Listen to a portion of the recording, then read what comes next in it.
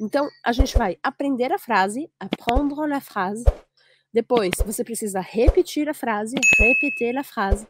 E aí você pode variar a frase, varier la phrase. Quando você chega nesse grau de variação da frase, é quando você começa a ter mais autonomia na linguagem. Porque eu vou ensinar de uma forma, mas é assim, por exemplo, se eu dissesse em português, ah, como que eu falo quanto custa? Ah, quanto custa isto? Mas a pessoa pode perguntar assim, qual que é o preço disso também? Então ela pode variar a mesma lógica, ou quanto custa esse, quanto custa esta, né? Tipo, a gente pode variar a mesma frase, criando novas frases. Então, primeiro, é, se você está saindo do absoluto zero do francês, esse é o lugar certo, né? Você consegue falar francês, mas você vai focar nas duas primeiras coisas. Se você já começou a evoluir do francês, assim, já tem um pouco mais de conhecimento, você pode focar um pouco também nessa questão de variação de frases que eu chamo de derivação. Vou até deixar escrito aqui para você. É uma técnica que eu costumo ensinar nos meus eventos. Derivação.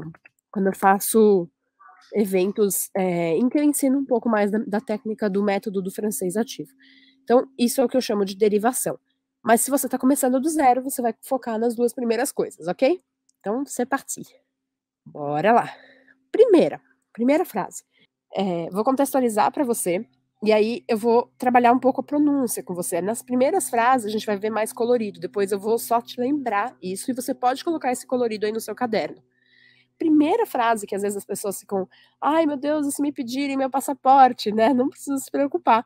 Porque a palavra passaporte ela é bem parecida em todas as línguas, principalmente entre francês e português, porque eles têm a mesma origem, o latim. Então, por exemplo, na sua chegada, na hora que você for passar pela alfândega, que a gente chama de douane, douane em francês, é, você vai ouvir provavelmente a frase Votre passeport, s'il vous plaît votre passeport, s'il vous plaît. E aí, sendo bem sincera, às vezes a pessoa não fala nem nada, né? Porque a gente já sabe que tem que mostrar o passaporte, já chega mostrando. É, mas se pedirem, você já sabe como que é. Votre passeport, s'il vous plaît. Repete aí comigo. Votre passeport, s'il vous plaît. Aqui eu tô repetindo devagarzinho, mas é importante que você lembre e saiba que as pessoas elas não vão falar devagar com você. Porque não é porque você é turista que elas vão ralentar. Só se você pedir. Mas primeira coisa é você começar a reconhecer os sons. Então a gente, eu vou sempre falar a frase devagar e depois num ritmo mais normal, de forma que você consiga entender os sons avulsos, né, separadinhos, mas que você consiga também treinar essa cadência da língua francesa, que é o que eu chamo também de musicalidade da língua francesa.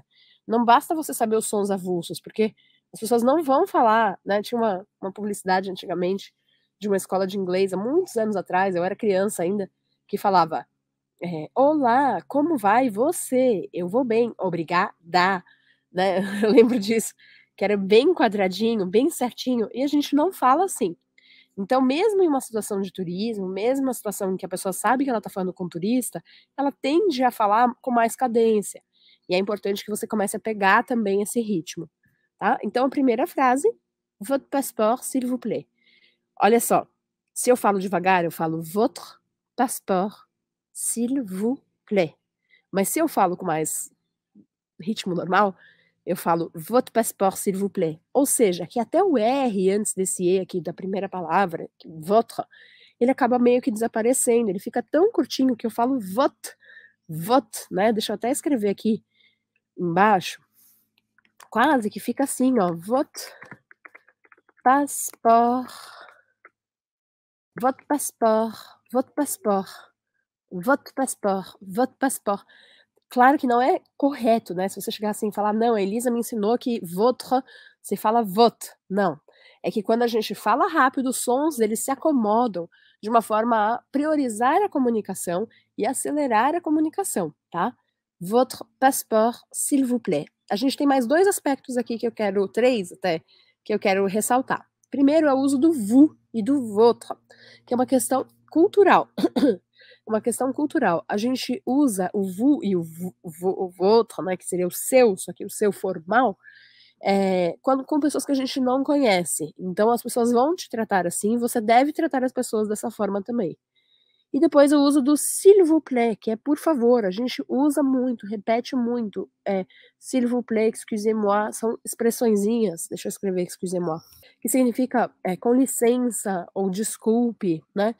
São expressões que eu chamo de formule de politesse, né? Fórmulas de polidez que mostram que você está sendo educado ou educada, e é super importante que você use isso à beça, mesmo que pareça que você está se repetindo, a gente usa muito mesmo, tá bom? último aspecto ainda dessa frase, você viu que o que está em vermelho é o que, em geral, a gente meio que faz desaparecer. Eu não falo essas, essas letras, né?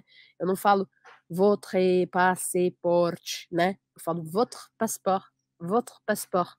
Tá? O T no final das palavras eu não falo, o S no final das palavras eu não falo, o E no final das palavras eu não falo, mas até o E no meio das palavras ele praticamente desaparece. Depois a gente vê aqui em azul o VU, VU. É que a letra O com U em francês a gente tem o som de U. Eu não falo OU, eu falo U, tá? Votre passeport, s'il vous plaît. Plaît. E o AI, a gente não fala AI, a gente fala é, é. E assim chegamos à nossa primeira frase. Votre passeport, s'il vous plaît.